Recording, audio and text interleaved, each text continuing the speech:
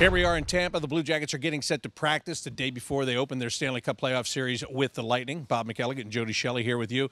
Jody, the Lightning, we know all about them. They have been the best team in the NHL from day one until day 82. They had 62 wins on the year. Uh, this team is a complete team for the Blue Jackets. What little nuances do they have to have in their game to beat this team? Well, first of all, they've got to be technically sound. Passes got to be on the tape the shots got to go off the goaltender or off the net. They can't shoot wide. They cannot feed into the, the transition of the Tampa Bay Lightning, and they've got to really manage the puck. I think the game plan needs to be for the Blue Jackets to get out of their zone clean. That's one thing. When you talk about passing, put that pass from the defenseman to the forward so they can get out of the zone. The Tampa Bay Lightning like to push up and get in your face. The Blue Jackets need to get that puck out, get in the offensive zone, and hang out in the offensive zone.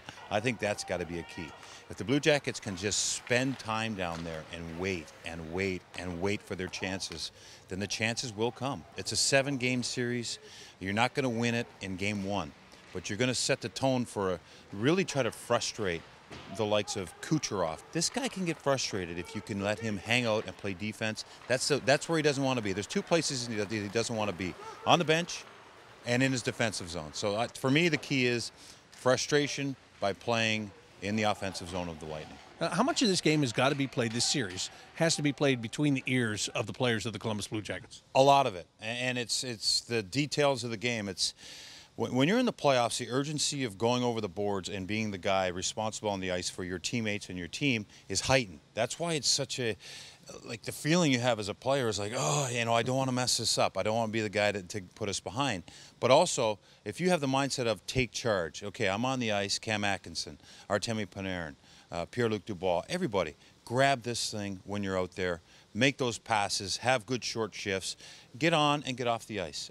Torch is going to have a very detailed game plan, but I think it's going to be very simple in all three zones. And I think between the ears, you're right focus on your job, take care of it when you're on the ice, and get back and get off, and just roll that way. Very simple. They're the underdog, the huge underdog in the series, but just go out there and follow the game plan. Don't feed into the beast of the Tampa Bay Lightning. Speaking of beasts, Josh Anderson. Yeah. Could this be a series for him? A guy that has uh, the big body and he knows how to use it.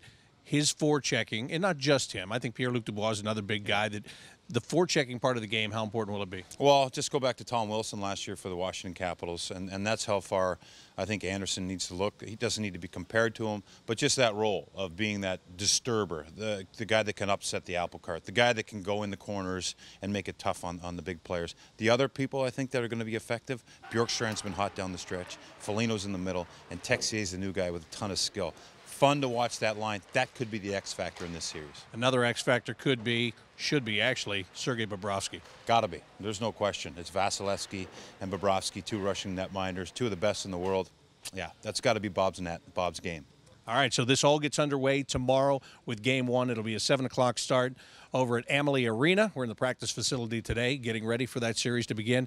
Uh, tomorrow's game, Jody will have it on Fox Sports Ohio. I've got it on the Blue Jackets radio network. Our pregame is going to start at 6 o'clock Yours too, probably? Yeah, I think yeah. so. All right. So 6 o'clock to get you ready for a 7 o'clock face off tomorrow. For Jody Shelley, I'm Bob McElligott.